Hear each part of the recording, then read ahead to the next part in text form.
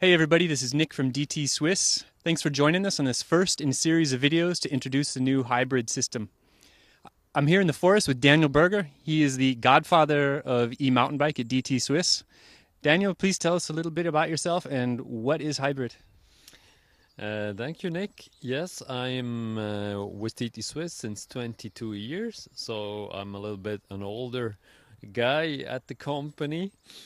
I'm responsible for the whole product range, starting from road wheels, about mountain bike wheels, componentry, and now newly for our hybrid line.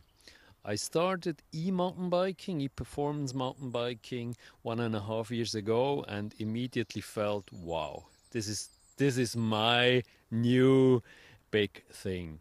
Because I mean I always did mountain biking, I did big tours, long tours, but in the meantime with the job uh, with family, uh, you are not on a fitness level anymore. Maybe you can do all this. So e mountain biking is extremely fun and pleasure now for me, and I think for a lot of other people.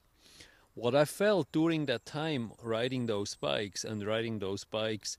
Uh, difficult terrain in, in difficult terrain uh, and and for a longer longer period i felt that standard componentry is not good enough doesn't last enough long enough for uh, the torque we have the loads we have the weight we have average speed we have uh, and therefore we bring now the new hybrid uh, wheels.